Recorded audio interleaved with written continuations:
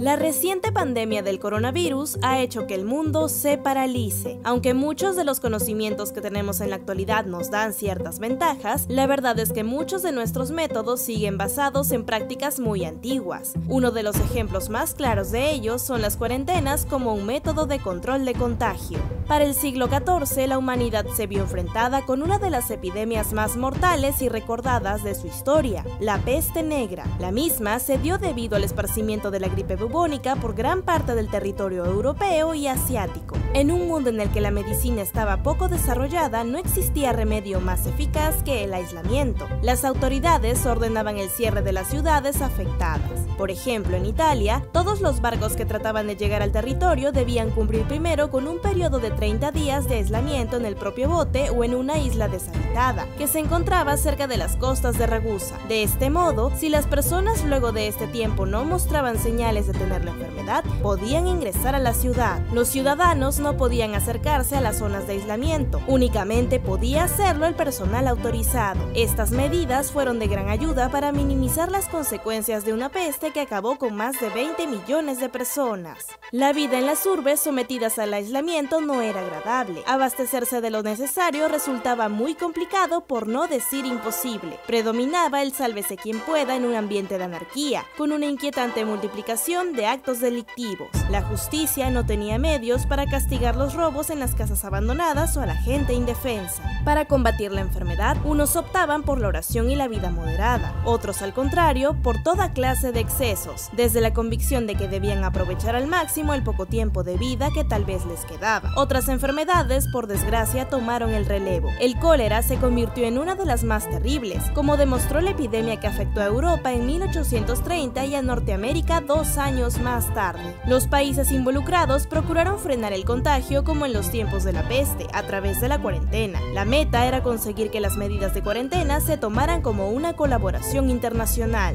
Sin embargo, no se hicieron muchos avances hasta 1893, cuando apareció finalmente un acuerdo entre Europa y Estados Unidos. Dentro del mismo se estipulaba una política de comunicación abierta ante el surgimiento de nuevas enfermedades o epidemias dentro de sus territorios.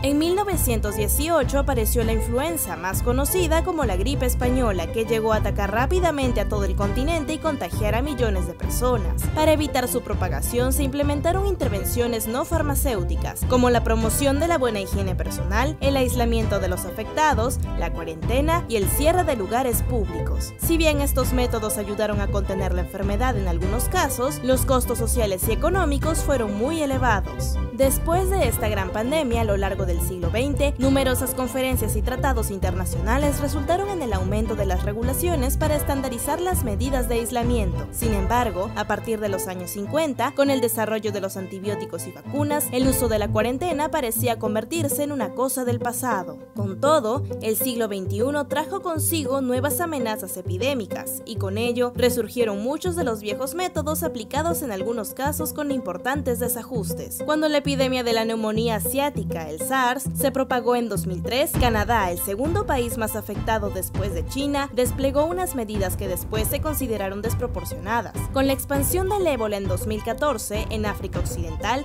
se hicieron esfuerzos de aislamiento, incluso intentando cerrar barrios o distritos enteros, cancelando vuelos internacionales y cortando el tráfico de movimiento, lo que no solo ralentizó los esfuerzos de ayuda, sino que también tuvo altos costes sociales y económicos. Finalmente, nos encontramos en la época actual. El 31 de diciembre del 2019 se reportó por primera vez la aparición de nuevos casos de un tipo desconocido de coronavirus. Hemos visto cómo el mundo ha implementado medidas de cuarentena que superan todas las tomadas en nuestra historia. Desde la peste negra hasta la actualidad, la cuarentena se ha convertido en una constante cuando la humanidad busca luchar contra los peligrosos enemigos invisibles que son las enfermedades. No obstante, también podemos notar claramente que las mismas no son en sí la al problema. Para que las cuarentenas puedan ser efectivas, deben ir de la mano con políticas de salubridad y sistemas de salud actualizados. Asimismo, el mundo debe entender que la investigación de estos virus y la búsqueda de posibles compuestos que los combatan debería ser una prioridad continua y no solo la respuesta a una contingencia. Tal vez sea este el aprendizaje que la historia de las cuarentenas en nuestro siglo le llevará al siguiente.